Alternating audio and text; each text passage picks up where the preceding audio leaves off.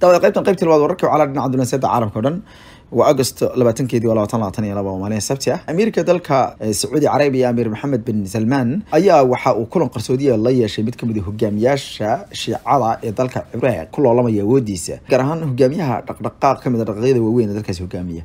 camar al xakiim ayaa waxaa la sheegay in kulan khaasa oo ay yeesheen isaga iyo amiir maxamed ay ka wada hadleen ayaa layidhi dhibaatooyinka iyo kala qaybsanaanta dhinaca siyaasadda ee akaarta iyo aarahda ah ee ku timid maamulka cusub iyo weliba baarlamaanka la doortay dalka ciraaq oo iyagu weli isku marila in ay samaystaan ra'iisul wasaare cusub. Wararka waxay sheegayaan in hogaamiyaha dhaqdhaqaaqa ciraaq xarakatul xikma ama waxaa loo yaqaana the xikma movement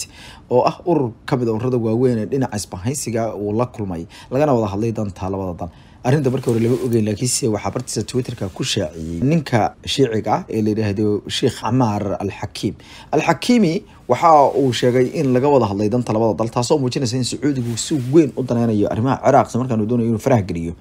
iyadoo oo ay dalka yaman iyagana si weyn u farageliyeen taajka boqortooya ninka iskale amiir maxamedka sacuudiga waxaa isku adkeenay buu yihi arrinta in laga wada shaqeeyo taariikhiga iyo cilaaqaadka wanaagsan ee labada dad ee walaalaha udhexeeya waxaan ka wada hadlay muhiimadda ay leedahay dhammaan arrimaha oo dhan. Sacuudiga ayaa baryihii ugu dambeeyay o dhan wuxuu doonayay inuu cilaaqaad wan dhow la samaysto dalkaasi. Laba qoys ayaguna u dhashay dalka maraykanka oo madow ah ayaa waxa ay soo bandhigeen mar kale sida waxa loo yaqaano midab kala sooca ama cunsuriyadu ay dalka maraykanka gaar ahaan ay meel walba uga gashay. Dadka qaarkood waxay ogaayeen arrimaha dhinaca markay timaado shaqooyinka ama dhinaca waddooyinka iyo maristooda bliiska lagu eedeynaya mar walba in dadka madowga iska toogtaan iyo dhinaca xabsiyada iyo maxkamadaha oo aaday caan ugu ahaayeen in qof madow ah dil uusan geysan ama filin uusan shaqaba kulahayn madax loo geliyo. Hadeerto waxaa bilowday islamarkaana banaanka u soo baxay arrimaha dhinaca guriyeynta waxa ay qoyskan soo bandhigeen arrin cajiib ah oo ka dhacday magaalada homeland ee gobolka maryland ee dalka maraykanka magaaladaasi waxay ku lahaayeen guri ku yaalla xaafadaha dadka ladan ee degan yihiin gaaraan kuwa cadaanka ah qoyskani. Qoyskani waxa ay sheegeen in gurigooda ay damceen in ay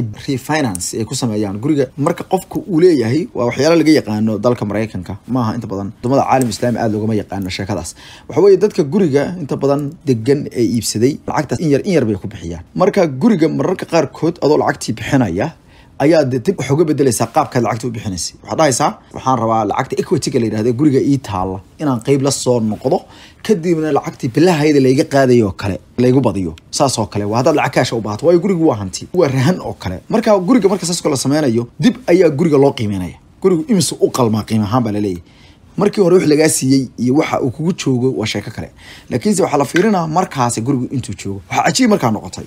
arrinta halka xalada ka leedahay markaas inagana inaga khusayso gaar dadka guryaha leh ee muslimiinta ee soomaalida ah halka ka khusayso waa halka. Markii ay gurigii damceen inay refinance ku sameeyaan refinance gareeyaan waxa ay ku khasbanaadeen inay la hadlaan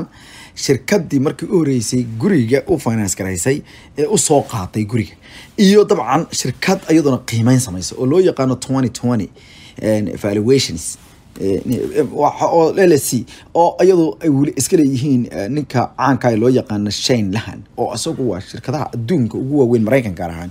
ee guryaha qiimeeya. Ninkaasi markii uu gurigii yimid waxa uu gurigii ku qiimeeyey afar boqol iyo toddobaatan iyo laba kun oo dollar buu ku qiimeeyey. Balse arrintu halka markay taagan tahay xaafadaha guryaha dadka degan ayaa yaqaana xaafad kasta isku si ayay u dhisanta. Oo guryahaasi xaafadaasi waxaa loo arkaa inay isku qiimo yihiin. Gurigii ku xigay oo cadaan ay leeyihiin ayuu isagana qiimeeyey maalmo ka hor oo qoladana dabcan way ogaadeen. Toddoba boqol iyo konton kun oo doolar baa lagu qiimeeyey saddex boqol oo kun lacag ah ayaa udhexaysa taasi waxay noqotay arrin cajiib. Kadibna dadkan uu ku sirmay show dad caadiya maba ahaynba ninka guriga leh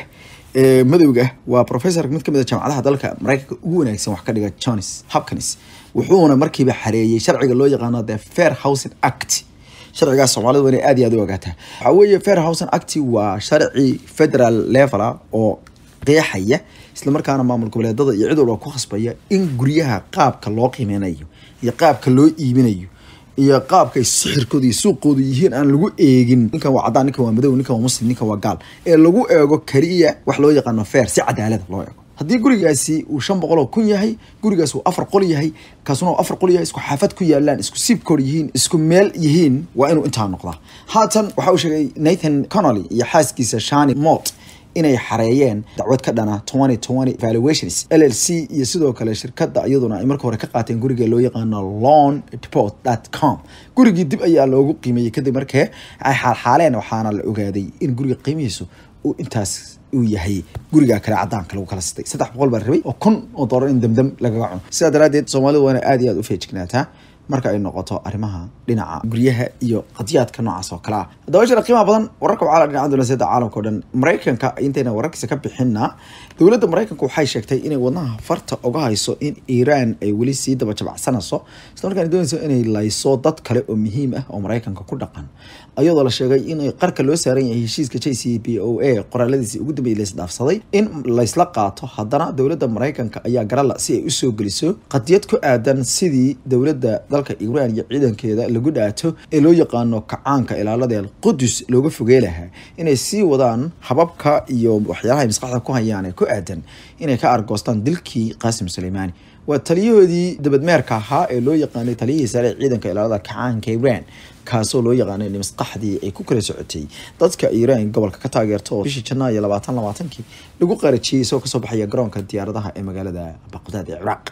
Haatan waxa ay sheegeen mid ka mid a saraakiisha oo magaciisa diiday inuu tafaasiil dheeraada ka bixiyo ayaa yidhi iyadoo aynu aragno habsami u socodka arrimaha dhinaca heshiiska una eg inay soo socoto wadahadallo dhab ah oo lagu heshiiyo. Haddana dilkii salmaan rushdi iyo sidoo kale handadaadii uu faraha cidadale ku baxsaday john palton madaxii hore ee la taliyaha amniga qaranka ee dalka maraykanka. Iyo iyadoo la daba jabacsanayo weli xogayihii hore ee maraykanka arrimaha dibadda mike pompeo dhammaantood arrimahaas waxay muujinayaan ayaa la yidhi halis aada weyn. Ergeyga gaarka ee arrimaha iiraan u qaabilsan maraykanka brian hook ayaa goorsii horeysay waxa uu sheegay in halis weyn ay weli iiraan ka soo jiji leedahay. Ciidankooduna ay doonayaan inay si uun u aarsadaan. Xubnaha aqalka kongareeska dalka maraykanka ee xisbiga jamhuuriga oo iyagu sutida u haya gebi ahaanba inaan dib loogu noqon heshiiskii lagu bursaday ayay dhahdeen markii horeba xilligii obama ee joint comprehensive plan of action ayaa ka digaya inaysan ansixi doonin heshiiskaasi kolka la keeno aqaladeeda waxayna ku tilmaameen inay iiraan mar walba doonayso inay balaayiin doolar hesho. Mid ka mid a saraakiisha ayaa yidhi sidee iiraan aada uga qaadaysaa cunaqbataynta balaayiinta doolar adiga oo markaasi aan ogeyn meesha uu ku dameyn doono masiirka dadka ay raadinaysa maraykanka xilalka kala duwan ka soo qabtay. Arrintaas ayaa u eg mid wadnaha farta looga hayo islamarkaana keeni karta gacanka hadal aada iyo aada u weyn. Magaalada muqdishona qaraxii ka dhacay halkaasi ayaa tirada dadka dhimashada la sheegayo ayaa markaasi tiradu mar walba isbedelaysa gebi ahaanba ilaahay subxaana watacaala ha u naxariisto dadkii halkaasi soomaaliyeed ee ku leeday laguna laayay xalay iyadoo saacado aada u badan ay qaadatay in hoteelkaasi gudaha loo galo. Xalaytoo dhan ayaa rasaas dhacsa hoteelkaas sidoo kale qaraxyo ba'an ayaa halkaas ka soconayay. Agaasimaha iyo asaasaha hay'adda dhinaca gaadiidka gargaarka degdega ah ee magaalada muqdisho cabdilqaadir cabdiraxmaan ayaa goorsii horeysay wuxuu u sheegay t v-ga aljazeera in ay dhibaato aada xoogan ay ka dhacday. Halkaasi isagoo sheegay inay soo daldalayeen dadka ay dhibaatooyinku gaadheen waxa uu sheegay inay aaminsanaayeen mar walba in gudaha waxa ka soconaya ay tahay dagaal aada u ba'an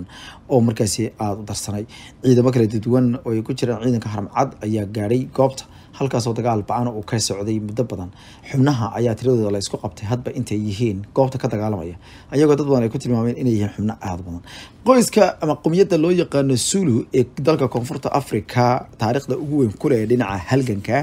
ayaa iyaguna isqabqabsi xoogan waxa uu ka taagan yahay qofka qaadanaya dhexaltooyadii suldaanka ama hogaamiyaha dhaqameedka boqorka ah ee dalkaasi nationka loo yaqaano sulu sulu waxa ay aada ugu caan yihiin inay yihiin dad u soo halgamay dalkaasi kadib markii boqorkoodii boqor shaka sulu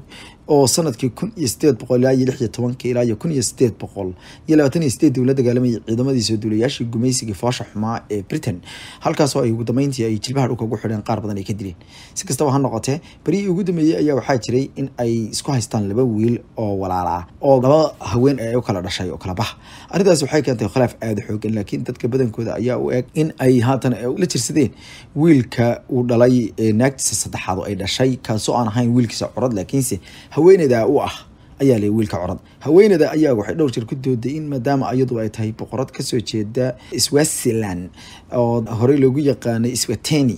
ay tahay boqorad xaggaasi ka timid. Inay wiilkeeduna reer boqor saas ku yahay islamarkaan iyadu ay mudan tahay. Haweeneyda waxaa leedaha queen manfopi dalimimi sulu. Miss sulu waxa ay ku taamisay in wiilkeeda ugu dambeyn uu qabsado talada iyadoo sheegtay in wiilkeeda uu yahay qofka ugu haboon ee goobtaasi qabsanaya. Sabtidii sabtidii hore waaye ayaa xubnaha qoyska kale ee iyaduna haweeneyda curad ee wado waxa ay sheegtay inay qabsatay xaflad iyada oo la sheekalkaas in dhawaaqay qofka boqorka noqonaya hadeerto labadii ninba oo cimaamadan yihiin laakiinse qoyska ayaa sheegay in ay geli doono xarunta boqortooyada. Ninka ay dhashay haweeneyda reer switzerland wiilkeeda waxaa leedaha mislulu waxaana uu diidan yahay markaasi inuu walaalkiisa weyn oo leeda simage sulu kawazewelitini uu markaasi uu madax ka noqdo qoyska madaxtooyada ee dalkaasi arrintan ayaa keentay ayaa layidhi in ay ka dhalatay dhimashada aabahood oo bishii mars dhintay oo loola jiray king zulu. Si kastaba ha noqotee waxay dadkani degaan gobolka kwazulu natal ee dalkaasi waxaana loo yaqaana qoyska ugu badan ee dalkaasi gaar ahaan waxa ay leeyihiin taariikh u gaaro dhinaca halganka taasoo ah tan ay ku dhamaneed gareeyaan ama ay maarata saameynta ugu xoogan uga qaataan dadayagoo kale la degan gobolka ilaa iyo laba milyan iyo afar boqol iyo konton tigidh ayaa ilaa hadeerta loo goostay koobka ciyaaraha dunida ee fifa world cup. Ee ka dhici doona magaalada dooxa xarunta waa qatar. Guddiga dhinaca qabanqaabada ee fifa ayaa sheegay in ay gooyeen tigidho intaas iyagoo sheegay inay tigidho kalena sii hayaan oo ay rajeynayaan in la goosto. Wejiga hore tigidhada ayaa soo gabagaboobay shantii julaay ilaa iyo lix iyo tobanka bishan agost ay ugu talagaleen inay ku soo gabagaboobaan muddadaasi si kastaba ha noqotee dalalka ugu badan ee tigidhka laga goostay waxaa ka mid ah dalka qatar mareykanka england sacuudi arabia mexico imaaraadka faransiiska argentina brazil iyo germany. Waxaana la aaminsan yahay in ilaa iyo hadeerto ay hadheen tigidho dhowra oo ay sheegeen inay kumanaan tigidh oo iyagana sheegay in baryaha soo socda la kala tuuri doono waa sida hadalka loo dhigaysto markaana ay gada doonaan dad badan. Dalka hindiya waxaa dhibaato xoogan ka socota gobollo ka mid ah masiiba ku dhacday taasoo ay weerar ku soo qaaday quraanjo casta oo loo yaqaano quraanjada gebgableysa ee aadka u cararta ayaa gobolka tamil nadu ee dalkaasi hindiya koonfurtiisa dhaca waxaa la sheegay inay dhibaatadaasi xoog ay u saameysay beeraha iyo cayayaanka kale. Iyo sidoo kale xataa waxaa layihi masaska ay dadkaasi haystaan. Waxaana lagu tilmaamay inay masiibo aada u weyn ku noqotay taasoo dad badan ay ka barakaceen sidoo kale waxaa la sheegay inay xoolaha indhaha ka gelayso.